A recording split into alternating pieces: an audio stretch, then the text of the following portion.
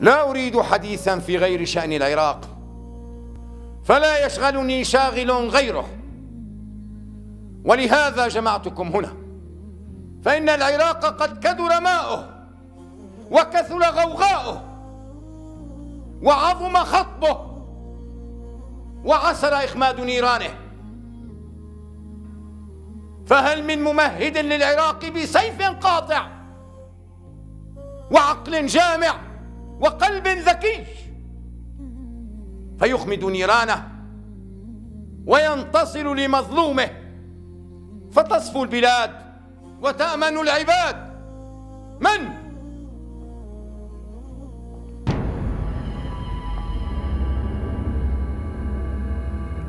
يا أمير المؤمنين أنا للعراق أنزل يدك يا حجاج ما لي أرى الرؤوس مطرقة والألسن معتقلة. يا مولاي إني للعراق وإني قاهر الفساق ومطفئ نار النفاق. لا أراك لها يا حجاج. بل إني قاسم الظلمة ومعدن الحكمة وآفة الكفر والتوبة. لست لهذا يا حجاج فانزل يدك. من للعراق؟ أنا للعراق أردتك آخر المتكلمين يا حجاج. وسألت ثلاثا فما نطق أحد بالتلبية غيرك؟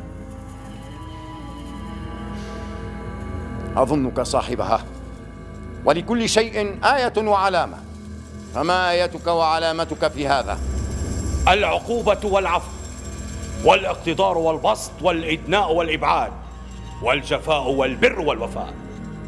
والتأهب والحزم والحيطة والعزم وخوض غمرات الحروب ومن نازعني قطعته ومن خالفني قسمته ومن جادلني نزعته ومن دنا مني أكرمته ومن طلب الأمان أعطيته ومن سعى للطاعة أجلته. هذه آيتي وعلامتي. وما عليك يا أمير المؤمنين إلا أن تبلوني. فإن كنت للأعناق قطاعا وللأرواح نزاعا وللأموال جماعا ولك نفاعا وإلا فليستبدل بي أمير المؤمنين غيري فالناس كثر ولكن من يقوم في هذا الأمر قليل أنت لها يا حجاج. فما الذي تحتاج إليه؟